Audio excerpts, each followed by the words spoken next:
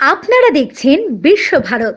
এগিয়ে বিশ্ব, এগিয়ে ভারত। প্রতিবাদ করলে বিজেপি কর্মীদের হেনস্থা করা হচ্ছে বলে অভিযোগ তুললেন দিলীপ ঘোষ।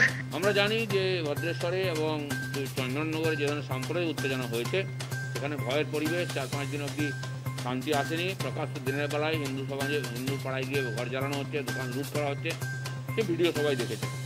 তার পরিণামস্বরূপ ওখানে পুলিশ নেমেছে। পুলিশ অফিসারকে ওখান থেকে ট্রান্সফার করা হয়েছে এবং র্যান্ডাম কিছু লোককে অ্যারেস্ট করে, লোকের চোখে ধুলো দেওয়ার চেষ্টা হয়েছে প্রায় একশো উনত্রিশ জন। তার মধ্যে হিন্দু বেশি।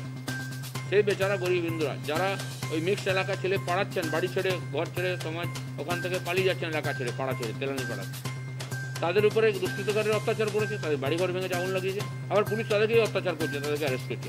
এটা কী ধরনের ন্যায়? আইন শৃঙ্খলা তো নাই। কমপক্ষে এই ধরনের ডাইরেক্ট যেখানে অ্যাটাক হচ্ছে হিন্দুদের কোনো দোষ ছিল না। একটি বিশেষ সমাজের লোক, তারা টেস্ট করতে চান না কোয়ারেন্টাইনে যেতে চান না, পুলিশ বলেছে পুলিশের ঝগড়া পুলিশকে বোম মেরেছেন। তারপরে হিন্দু পাড়ায় কেন আক্রমণ হয়েছে? আর এটা বললে নাকি সাম্প্রদায়িক কথা হয়ে যাচ্ছে। কত জায়গায় চাপা দেবেন? হরিশ্চন্দ্রপুরে হয়েছে। এবং সেখানে সাতটি থানাতে ইন্টারনেট বন্ধ করে দেওয়া হয়েছে।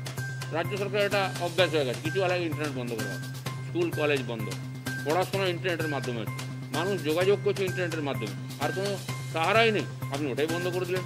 অন্য সুবিধাও দিতে পারছেন না। যেটুকু চলছে সেটা বন্ধ করে দিলেন। ঠিক এরকম উত্তর চব্বিশ পরগনা ব্যারাকপুর এলাকায় এদিকেও ইন্টারনেট বন্ধ করে দেওয়া হয়েছে।